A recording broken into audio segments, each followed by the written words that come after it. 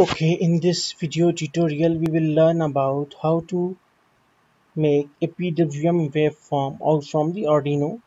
Or you can say that a pulse width modulated waveform from the Arduino. So for it first of all you need to have one Arduino. You can select any Arduino and I would also like to tell you that Proteus is not offering any built-in Arduino inside it.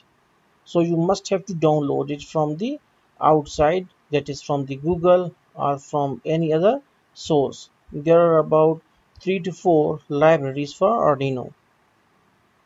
But for it first of all you need to go and search that how you can add Arduino library to the Proteus so after you have done it then you must know that there are around 13 digital IOs or within the Arduinos. That is the digital input output pins. But all are not like uh, PWM based. Some are PWM and some are just simple digital pins.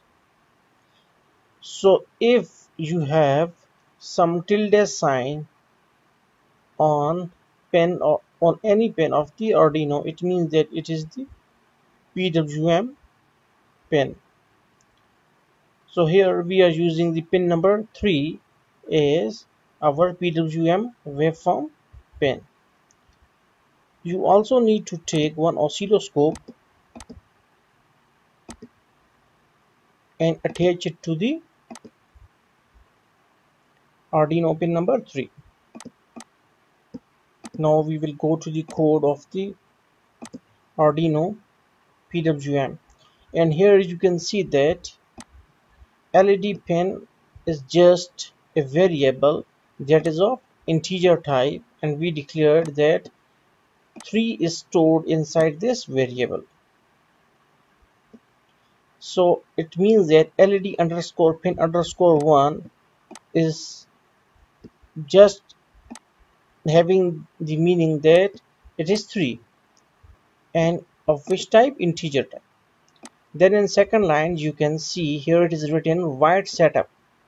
What is it? It is a function that will execute just one time. It runs for just one time. Then there is a built-in command of pin mode. This command is actually used for designating or assigning the pin as input or output. It it it actually initializes the pin. That is either it is it will be used for an input or output. So here it declare led pin underscore 1 as output. Means that pin number 3 as output. Then after it ends here it is written void loop. So here while loop is a function that starts from this bracket and ends at this bracket but it runs continuously just like while one and it never ends. So here for int c is equal uh, here we are using two loops. For int c is equal to 0 means that first 0 is stored inside the c. Then condition will check that either c is less than 255 and if condition is true because now it is 0 then we will then this the second line after for loop will be executed. That is on led underscore pin underscore 1 must be written with the 0 and then 1 and then 2 3 4 up to the 254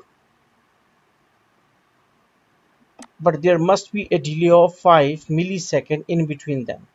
So it is continuously writing the values on pin on pin number 3 and it is these are the positive values. Or or you can say that it increases from 0 to 255 then the second for loop it runs for it, it starts from c is equal to 255 then condition will be checked that either c is greater than 0 yes it is greater than 0 then we will minus we will just minus 1 from this 255 and then we will check that either c is greater than 0 then if condition is true then we will move to the next line. That is analog write led underscore pin underscore 1 comma comma c. Then delay of 5 millisecond. And then for up to 255 for 2 54 times it runs okay? Okay now now we are going to compile it. Hopefully you understand the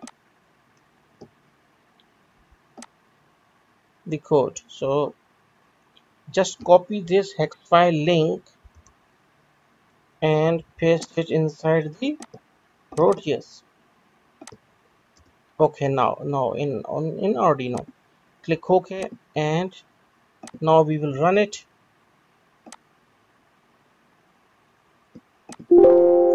And we got that we are getting a waveform. Sorry okay uh, on 2 volts and we will uh, reduce the time. Now you can see that we we got a PWM waveform. That is actually an analog write signal and it is pulse width modulated. Like you can change the width of the pulse.